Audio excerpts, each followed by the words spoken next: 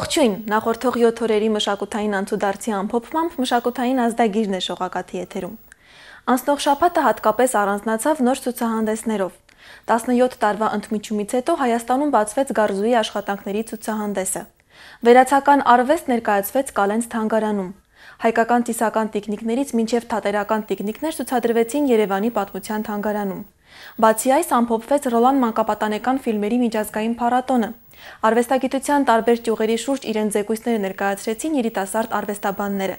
Երիտասարդ գրող Արամ Պաչյանն էլ ընթերցողի սեղանին դրեց իր Օվկիանոսը։ Այս եւ այլ թեմաների մասին ենք պատմելու մեր այսօրվա թողարկման ընթացքում։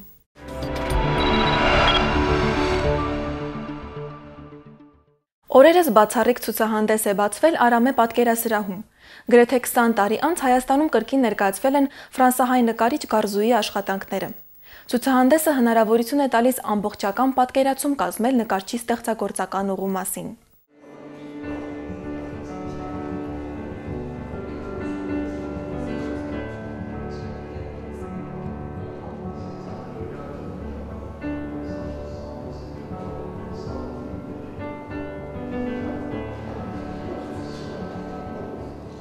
Իբրև նկարիչ կպատկանիմ ֆրանսիական արվեստին,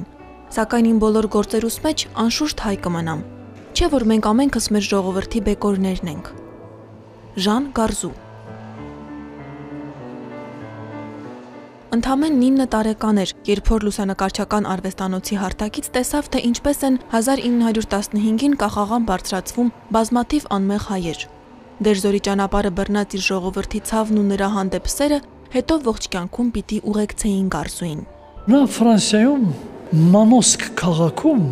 16-րդ դարում կառուցված նշանավոր եկեղեցու ամբողջ պատերի վրա կազմակերպել է մեծ որմնանկարներ։ Եվ դա բացառիկ երևույթ է որպես թանգարան։ Եվ մեզ համար այնքան սիրելի է, որ այդ հսկայական որմնանկարների մեջ նաև պատկերել է հայոց եղերնը, հայոց գոտորածները Ծնվել է Հալեպում, հորը կորցնելուց հետո մորը կրծեր քրոջ հետ 1919 թվականին տեղափոխվել է Կահիրե։ Կրթություն ստացել է տեղի Գալուստյան վարժարանում, ապա կրթաթոշակի շնորհիվ 1924 թվականին ուսումը շարունակել Փարիզում, ստանալով ճարտարապետի կրթություն։ Թեև իր մասնագիտությամբ երբեք չի աշխատել, սակայն ճարտարապետությունն իր հստակ հետքն է թողել նրա գործերում։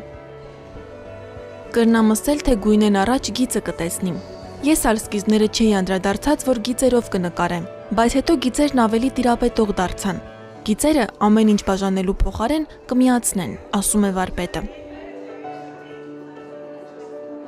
Հայրենիքի հետ կապը մշտական էր։ Գարզուն Հայաստանի ազգային պատկերասրահին եւ ժամանակակից արվեստի թանգարանին է նվիրել 400, իսկ ի նպաստ Սպիտակի երկրաշարժի ստուժած արվեստագետների 50 գրաֆիկական գործ շատ մոտ եմ եղել Կարզվին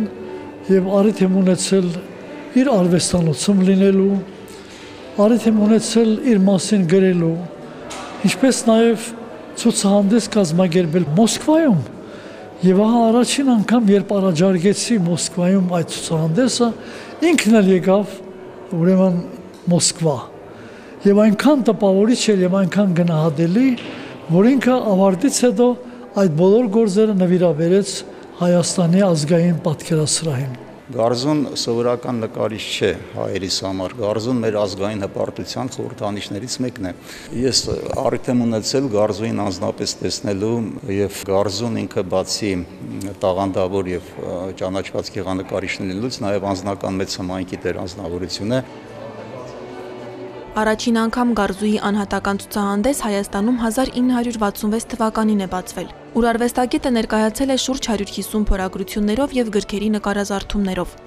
Դրանք հետագայում ամբողջությամբ նվիրաբերել է Հայաստանի ազգային պատկերասրահին։ Հայրենիքում նկարչի վերջին ցուցահանդեսը 1997 թվականին էր, նվիրված վարպետի 90-ամյակին։ Շուրջ 17 տարի անց Արամե պատկերասրահի նախաձեռնությամբ Ամբողջական ցուցադրությամբ Հայաստանում կրկին Գարզու է ներկայացվում։ Մոտ 5 ամիս առաջ ձեռնարկեցինք այս աշխատանքը, կարողացանք մասնավոր հավաքորդներից ներգրավել մի շարք յուղաներ կտավներ եւ մի մասը իհարկե մեր Արամե պատկերասրահի սեփականությունն է եւ մեր գլխավոր խնդիրը ամբողջական ձևով ներկայացնել գարզուի ժառանգությունը Այս ցուցահանդեսը հնարավորություն է ծանոթանալու գարզուի ստեղծագործական տարբեր շրջափուլերին։ Ներկայացված են նատյուրմորտներ, բնանկարներ եւ դիմանկարներ, ընդհանուր առմամբ 45 աշխատանք։ Հավաքածուի ամենահին նկարը 1948, իսկ ամենանորը 1988 թվականին է արված։ Գարզուն պատվո լեգիոնի շքանշանի ասպետ էր։ 1979 թվականին դարձել է Ֆրանսիայի Գեղարվեստի ակադեմիայի անդամ։ 1984-ի հունվարի 27-ին վարպետին շնորվել է Մարտիրոս Սարյանի անվան մրցանակ։ Գարզուն մահացել է 2000 թվականի օգոստոսի 12-ին Փարիզում։ Վարպետի աշխատանքների ցուցահանդեսն Արամե պատկերասրահում կշարունակվի մինչև նոյեմբերի 25-ը։ Լիլիթ Գրիգորյան, Արթուր Մանուչարյան, մշակութային ազդագիր։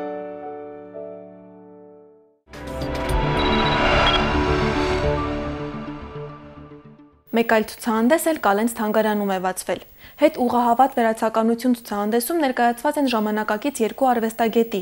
Աշոտ Հարությունյանի եւ Խաչատուր Մարտիրոսյանի վերջին շրջանի աշխատանքները։ Կազմակերպիչների խոսքով սա փորձ է քննելու հայաստանյան վերացականության կեսդարյա իրողությունը։ Կալենցի տուն թանգարանը հյուրընկալել է Աշոտ Հարությունյանին եւ Խաչատուր Մարտիրոսյանին։ Նրանք վերացական մտածողության դաշտում գործող արվեստագետներ են։ Աշոտ Հարությունյանը քանդակագործ, Խաչատուր Մարտիրոսյանը նկարիչ։ Երկու մոտ ընկերներ նախկինում են գործերը միասին ցուցադրել, այս մեկն անվանել են հետ ուղահավատ վերացականություն։ Ներկաները քննարկում դիտարկում են Հայաստանի վերացական արվեստի կեսդարյա փորձը։ Համադրող Արա Հայթայանը ցուցադրության համար փնտրել է կամերային տարածք եւ կանգ առել Արություն Կալենցի տան վրա։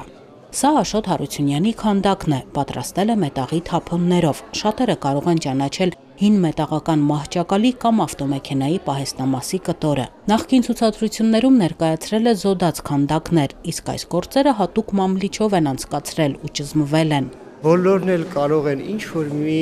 բան իրենց հետ տանել կամ ինչև անգամ այդ փոքրիկ մի բանը ինչ որ դա լինի կարող է դառնալ հիմք ինչև անգամ կյանքի նկատմամբ ունեցած կարծիքը փոխելու վերա վերագնահատելու նոր բան սկսելու ինչու՞ չէ որովհետեւ վերացական արվեստը ինքը առաջի հերթին ազատության եւ ազնվության մասին է Հիմնականում սև, երբեմն նաև սև ու սպիտակ։ Նկարիչ Խաչատուր Մարտիրոսյանի գործերն են։ Նկարչի խոսքով սա փիլիսոփայական տարածք է։ Սևի փիլիսոփայական տարածքը բավական բարդ է, իրեն, իրեն հետ պիտի աշխատես, որպեսզի կարողանաս բերել մարդու տարածք Եվ այս խնդիրը ես կարծեմ թե լուծել եմ։ Սա շատ ամփոփ ցուցահանդես է իր համար, որ որ վերջին կարելի ասել 8-10 տարիների ամբողջ իր գեղարվեստական կրեդոն այստեղ ամփոփված է եւ լավ է որ վերջապես խաչիկը այսպես լայնածավալ ցուցադրվեց Աշոտ Հարությունյանի դեպքում խնդիրը քիչ այլ է ցուցադրված է գրեթե 1 շարք մեկ շարքի շուրջ մետաղական խտացումներ, գեոմետրիկ եւ քաոսային ֆորմաների մեջ ամփոփված Արա Հայթայանի խոսքով Հայաստանի վերացական արվեստը 60-70-ականներից մինչ այսօր հետաքրքիր ճանապարհ է անցել արվեստագետները ստեղծագործական հագեցած խճանկար են ներկայացնում Արվեստի այս ուղությունը դիմադրության է արժանացել սկզբնավորման փուլում հիմա արդեն հիմնարար մտածողություն է Աննա Թամրազյան, Գևորգ Ավակյան, մշակութային ազդագիր։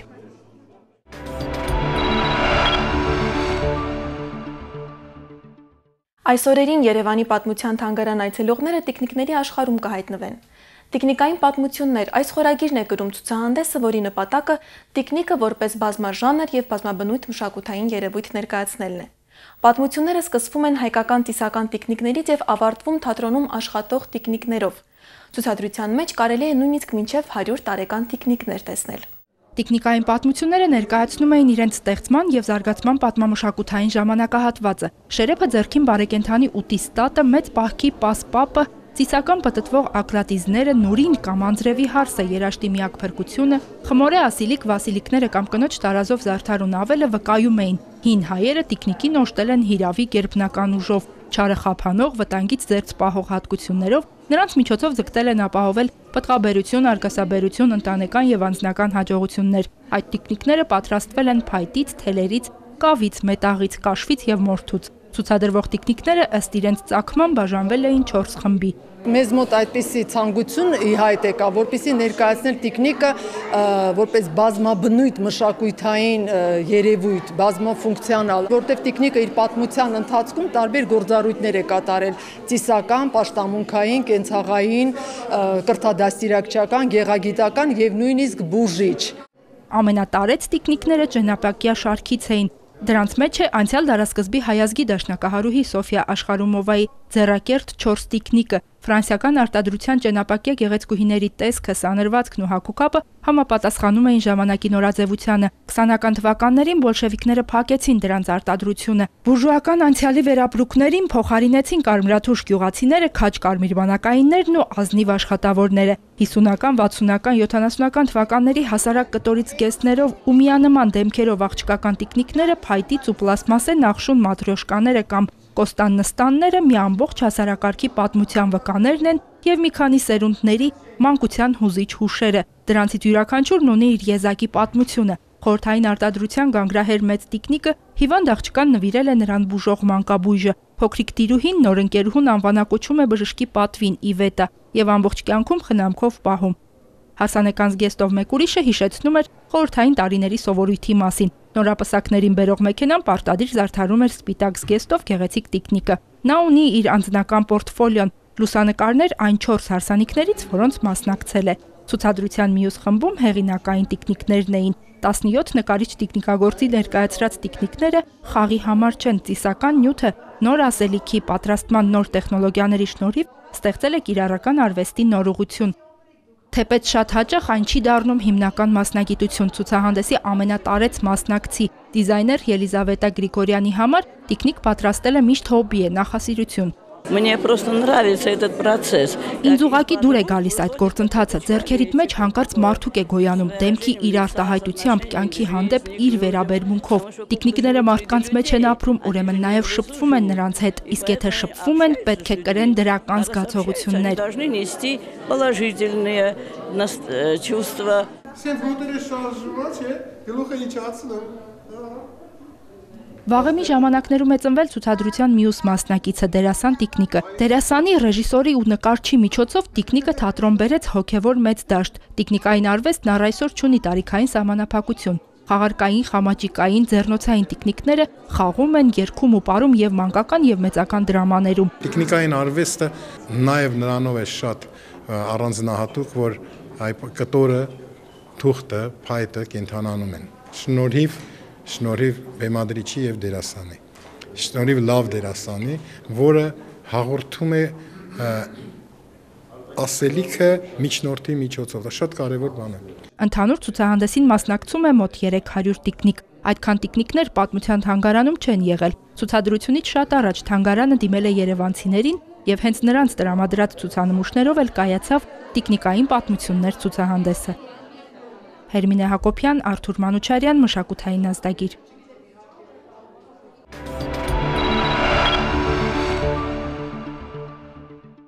Նոյեմբերի 12-ին Մոսկվա կինոթատրոնում ամփոփվեցին Ռոլան մանկապատանեկան ֆիլմերի 10-րդ միջազգային փառատոնի Երևանյան փուլի արդյունքները։ 5 օր շարունակ Երևանում եւ մի քանի մարզերում 145 ֆիլմ է ներկայացվել 38 երկրից։ Փառատոնի մարզային փուլը կշարունակվի մինչև դեկտեմբերի 20-ը։ Ռոլան մանկապատանեկան ֆիլմերի 10-րդ միջազգային փառատոնի մեկնարկն այս տարի տրվեց նոյեմբերի 8-ին։ Այն իր ստեղծման օրից միտված է ֆիլմերի միջոցով դեռ վաղ տարիքից երեխաների մեջ սերմանել բարձր արժեքներ, կրթել եւ պատրաստել գիտակից քաղաքացիներ։ Ռոլան փառատոնն անցկացվում է Հայաստանի Հանրապետության նախագահի հովանու ներքո, մշակույթի եւ պաշտպանության նախարարությունների աջակցությամբ եւ Ռոլան Բիկով Հայաստանյան հիմնադրամի օժանդակությամբ։ Մենք աշխատում ենք վերցնել մեր փառատոնին, то есть անցնել սելեկցիան այն ֆիլմերը, որոնք ինչ որ մեսիջ ունեն հաղորդելու երեխաներին, պատանիներին, ինչ որ խորը ֆիլմեր, ինչ որ բովանդակալից ֆիլմեր, այն ֆիլմերը, որոնք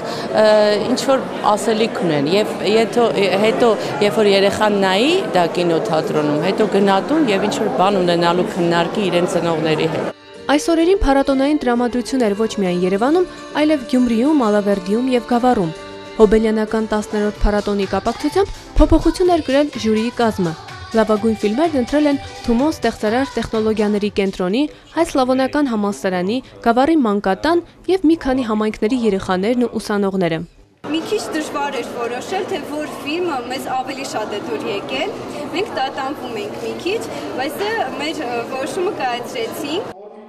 Արդեն երկրորդ տարին է ավելացել է նաև ռազմահայրենասիրական ֆիլմերի «Պատիվ ունեմ» անվանակարգը։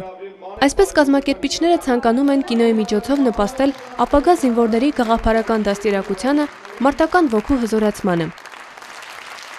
Այդ անվանակարգերում մրցանակների արժանացան Ալբերտ Մկրչյանի «Տխուր փողոցի լուսաբացը» լիամետրաժ եւ Թորգոմ Նալբանդյանի կարճամետրաժ «Հասա մերոնք են» ֆիլմերը,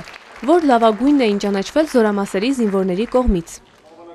Լավագույն անիմացիոն ֆիլմեր ճանաչվեցին Էստոնիան ներկայացնող ռեժիսոր Պարտեր Տալիի «Ավազե տղան» կարճամետրաժ եւ Ռուսաստանը ներկայացնող Վլադիմիր Տորոպչինի «Արքայազնը» եւ «Մեծ գորշ գայլը» լիամետրաժ ֆիլմերը։ Լավագույն խաղարկային ֆիլմ անվանակարգում լավագույնը Գուշ Թադևոսյանի եւ Կրկեսը ժամանեց կարճամետրաժ աշխատանքը ճանաչվեց։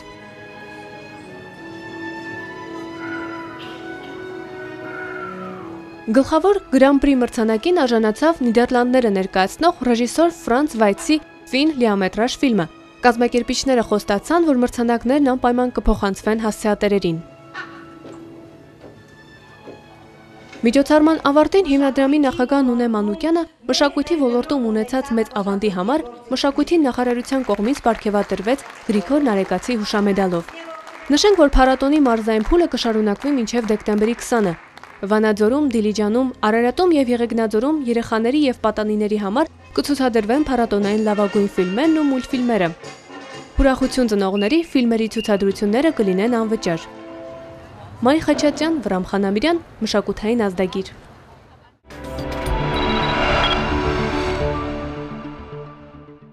Օրերս Գիտությունների ազգային ակադեմիայի նախագահության նիստերի դահլիճում գումարվեց երիտասարդ հայ արվեստաբանների գիտական 9-րդ նստաշրջանը։ Երիտասարդ գիտնականները ներկայացրին 31 զեկույց արվեստագիտության տարբեր ճյուղերի վերաբերյալ, շոշափելով կերպարվեստի, երաժշտության, թատրոնի, ճարտարապետության եւ կինոյի թեմաները։ Երիտասարդ արվեստաբաններն արդեն 9-րդ անգամ են հավաքվում Գիտությունների ազգային ակադեմիայի նիստերի դահլիճի կլոր սեղանի շուրջ։ Այս տարի նստաշրջանին մասնակցում են նաև ներկայացուցիչներ արտերկրից՝ Ավստրիայից, Իրանից, Ֆրանսիայից։ Մեկ օրվա ընթացքում արվեստագիտության տարբեր բնակավարներին վերաբերող 31 զեկույց է ներկայացվել։ Դա հնարավորություն է տալիս նրանց երիտասարդ արվեստաբաններին անձամբ ճանաչել իրար եւ երկրորդը տեղյակ լինել թե ինչ է կատարվում հարակից գիտություններում։ Հատկապես դա կարևոր է ժամանակակից գիտության համար, որտեղ անպայման մասնագետը պետք է տեսնի հարակից դաշտում ինչ խնդիրներ են դրվում, ինչ խնդիրներ են լուծվում։ Հայ արվեստագիտությունը, արվեստագիտական միտքը ունի հերթափող, որովհետև մեր գիտաժողովների մասնակցում են ինչպես արդեն արվեստագիտության տեխնացուներ, ճարտարապետության տեխնացուներ, այնպես էլ երիտասարդ արվեստաբաններ, ովքեր գիտության մեջ իրենց առաջին քայլերն են անում եւ նրանք ապագա արվեստագիտության ու ճարտարապետության տեխնացուներն են։ 28-ամյա Մարտին Հարությունյանը երկրորդ անգամ է մասնակցում երիտասարդ արվեստաբանների գիտաժողովին։ Այս տարի ներկայացնում է Կիպրոսի Սուրբ Մակարավանքի անցյալի պատմությունն ու ներկայի վիճակը։ Գիտաժողովից հետո լինում են դիսկուսիաներ իմ գոլեգաների հետ, որոնք ոչ միայն արվեստաբանության բնագավառում են, այլ երաժշտագիտություն, թատրոն, հետաքրքիր է փոխանակվել մտքերով եւ տեղեկանալ այլ երիտասարդների գիտական աշխատանքներին։ Վերջին տարիներին շատ է խոսվում գիտության ծերացման մասին։ Արվեստաբանների նստաշրջանի կազմակերպիչներին ժամանակի ընթացքում հաջողվել է ձևավորել երիտասարդ գիտնականների կայուն խումբ։ Օրինակ, Արվեստի ինստիտուտի աշխատակազմի 80%-ն այսօր կազմում են երիտասարդ մասնագետներ։ Երկրի ապագան երիտասարդների ձեռքում է։ Իսկ թե ինչպեսին կլինի այդ ապագան, ավելի կախված է նրանից, թե ինչպեսի վերաբերմունք ունի երիտասարդությունը այսօր ինչքանով է նախանձախնդիր, ինչքանով է շահագրգիռ վաղվա օրվա համար։ Նստաշրջանի ավարտից հետո երիտասարդ արվեստաբանների գիտական զեկույցները կտպագրվեն։ Ստելա Գևորքյան, Արթուր Մանուչարյան, մշակութային ազդագիր։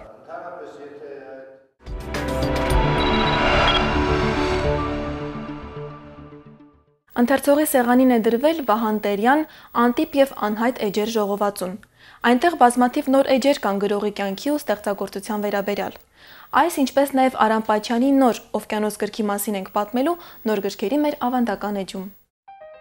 Գևորգ Էմին Տերյանի աշխատասիրությամբ լույս է տեսել Վահան Տերյան Անտիպ եւ Անհայտ էջեր ժողովածուն։ Այս գրքում կգտնեք 6 անտիպ բանաստեղծություն, 1 թարգմանություն, հարյուրավոր նամակներ, 8 հոդված, 2 գրախոսություն, դիմում հայտարարությունը, որով պոետը դուրս է գալիս Հայաստանի կոմունիստական կուսակցությունից, 13 հուշ Վահան Տերյանի մասին, որոնք չտպագրվելուց զատ գաղտնի են պահվել Հայաստանում։ Գևորգ Էմին Տերյանը իր մենակրության մեջ հավաքել է արխիվային նյութեր, որոնք մինչ այդ հրապարակվել են կրճատված։ Տերյանական նյութերը կազմող եւ դրանց միանձնյա տերը դառնալ հավակնող խորթային հրատարակիչները հաջող դրանք կրճատել են, բարեր, տողեր, անգամ քառատողեր փոխել։ Գրքում կան որոշ պատմական փաստեր, լուսանկարներ եւ փաստաթղթեր։ Տերյանի դստեր Նվարդ Տերյանի բաց նամակը ուղված հոր ամենամեծ գրաքննիչին, Եվ վերջապես հավելվածներում Տերյանի անտիպ գրվածքներն են եւ բանաստեղծի մասին առ այսօր անհայտ հուշերը։ Կրճատումները արվել են տարբեր պատճառներով։ Առաջինը իհարկե քաղաքականն է։ Այսինքն ինչը որ այսպես ունեցել է հակառուսական ինչ որ երանգ, հակակոմունիստական, հակաբոլշևիկյան եւ այլն։ Նույնիսկ անմեղ բաներ։ Օրինակ տերյանական հումորը Տերյանի, ասենք 4 հատորակում չի երևում, որովհետև այս ինչ որ դրվագներ հանված են չեն տպագրվել իր գնահատականները հայ գրողների վերաբերյալ, սա սուբյեկտիվ ինչ որ բան է։ Եվ օրինակ երևում է թե ինքը ինչ այսպես օբյեկտիվ քննադատ էր, ասենք ինքը շատ վատ կարծիք ուներ Շիրվանզադեի մասին որպես մարդու, բայց շատ բարձր է գնահատում Շիրվանզադեին հայ գրականության մեջ։ Լույս է տեսել գրող Արամ Պաչյանի նոր գիրքը։ Մասնագետները Արամ Պաչյանին համարում են մեր ժամանակի ամենաինքնատիպ եւ օժտված երիտասարդ գրողներից։ Նրա առաջին ժողովածուն տպվել է 2010-ին։ Երկու տարի անց լույս է տեսել ցտեսություն ծիտ վեպը։ Օվկիանոս կոչվող հատորյակը պարունակում է կարճ արցակի նմուշներ։ Էսսեների եւ պատմվածքների ժողովածուն նվիրված է հայ արցակագիր Ռուբեն Ֆիլյանի հիշատակին, որը կյանքի վերջին տարիներն անցկացրել է Հնդկաստանում, Օվկիանոսի ափին։ Գրքում կան թեմատիկ բաժիններ եւ շարքեր, ժողովածուն ամփոփում է վերջին 2-3 տարիների գրվածքները, որոնք մեծամասամբ առանցին առանցին մամուլի էջերում են տպագրվել։ Այս գիրքը ավելի օրգանապես կապված է երկու գործերի հետ, այսինքն Ռոբինսոն ժողովածուի եւ ցտեսություն ցիտ վեպի հետ։ Ինձ համար կան սա աշխատանքը վերանայելու իմ կատարած աշխատանքը վերանայելու եւ տեսնելու ինչ որ առիթ էր եւ միջոց, որ գրքով, այսինքն տեսնելու որովհետև մամուլում ցակուցրիվ սփռված է այս նյութ գործերը եւ իմ համար շատ կարեւոր է հավաքել, համակարգել եւ առաջ առաջ շարժվել։ Վահան Տերյան Անտիպ եւ Անհայտ էջեր գիրքը, ինչպես նաեւ արձակագիր Արամ Պաչյանի նոր ժողովածուն հնարավոր է ձեռք բերել Երևանի բոլոր գրատներում։ Հերմինե Հակոբյան, Վրամ Խանամիրյան, մշակութային ազդագիր։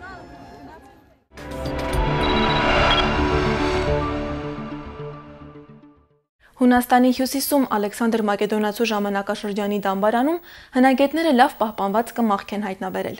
Մասնագետների խոսքով այն ազնվական դասի ներկայացուցիչի է պատկանում։ Այդ են վկայում դամբարանի մեծությունն ու շքեղությունը։ Փորձագետները չեն բացառում նաև, որ այն Ալեքսանդր Մակեդոնացու ընտանիքի անդամներից կամ նրա մտերիմներից մեկին է լինի։ Թե ել ինչ հետաքրքիր նորություններ են գրանցվել նախորդ շաբաթ միջազգային լրահոսում կներկայացնենք մեկ տեսաշարով։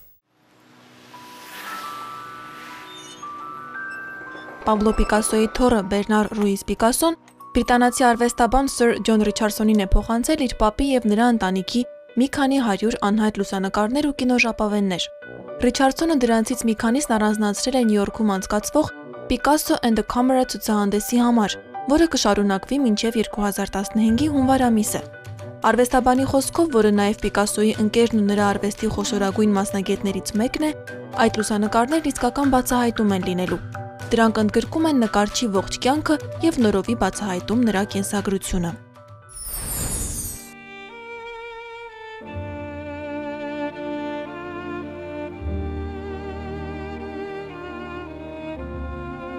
Վերոնայում նախատեսում են սիրահարներին նվիրված թանգարանային համալիր կառուցել։ Նախաձեռնողը գրող Ֆեդերիկո Մոչիան է։ Նա հայտնի սիրային վեպերի հեղինակ է, ինչպես օրինակ 3 մետր երկնքից վերև, Ներիշ սիրո համար եւ այլն։ Այդ առաջարկը նա Վերոնայի քաղաքապետ Ֆլավիո Տոզիին է ներկայացրել։ Քաղաքապետին առաջարկը շատ է հետաքրքրել եւ նա նախագիծը քաղաքային խորհրդի քննարկմանն է առաջադրել։ Նախատեսվում է թանգարանը բացել անմիջապես Վերոնայի կենտրոնում։ This Christmas. Have you ever seen it like this before? Արդեն հասանելի է գիշերը թանգարանում 3 ֆիլմի թրեյլերը, որտեղ իր վերջին դերն է խաղացել հոլիվուդյան դերասան Ռոբին Ուիլյամսը։ Ինչպես նախորդ երկու մասերում այստեղ եւս նա դարձյալ կատարել է ԱՄՆ նախագահ Թեոդոր Ռուզվելտի դերը։ Ֆիլմը վերջինն է ոչ միայն Ուիլյամսի, այլև լեգենդար Միքի Ռունիի համար։ Գիշերը թանգարանում 3 ֆիլմի պրեմիերան դեկտեմբերի 19-ին է նախատեսված։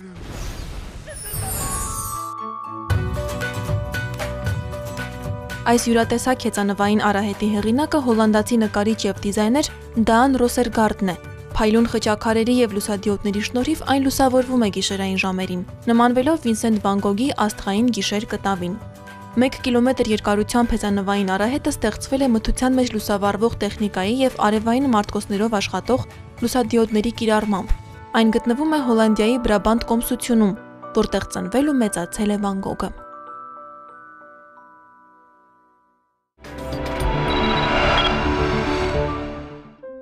1843 թվականի նոյեմբերի 19-ին է ծնվել մեծ երկիծաբան Հակոբ Պարոնյանը։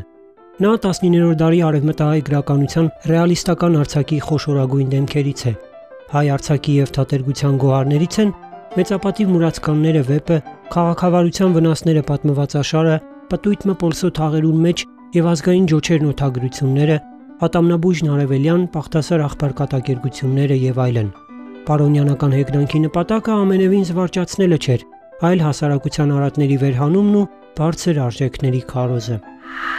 1694 թվականի նոյեմբերի 21-ին է ծնվել խոշորագույն ֆրանսիացի լուսավորիչ, գրող եւ փիլիսոփա Վոլտերը։ Նա սոցիալական բարեփոխումների ջատագով էր, քննադատում էր կաթոլիկ եկեղեցու գործունեությունը։ Վոլտերը տիրապետում էր լատիներենին, հունարենին, խոսում էր իտալերեն, իսպաներեն, անգլերեն լեզուներով։ Նա թողել է շուրջ 2000 գիրք եւ ավելի քան 20000 նամակ։ Վոլտերի խորաթափանց ու սրամիտ պամֆլետները իրենց բազմաթիվ դիտարկումներով արդիական են մինչ օրս։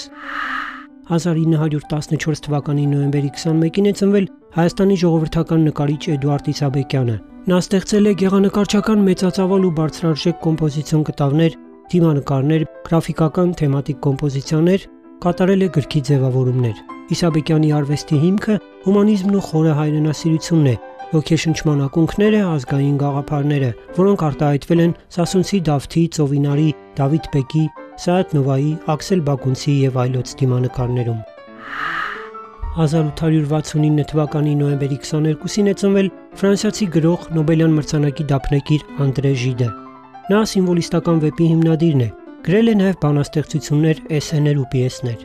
Հմայված սոցիալիստական գաղափարախոսությամբ Ժիդը ընդգրկվում է կոմունիստական շարժման շարքերում, պայքարում աֆրիկյան գաղութատիրության դեմ։ Սակայն ճամփորդելով ԽՍՀՄ-ում Անդրե Ժիդը հիասթափվում է սոցիալիզմից։ Իր տպավորությունները գրողն արտահայտում է Վերադարձ ԽՍՀՄ-ից գրքում, որի համար խորթային իշխանությունը այդպես էլ չներեց նրան։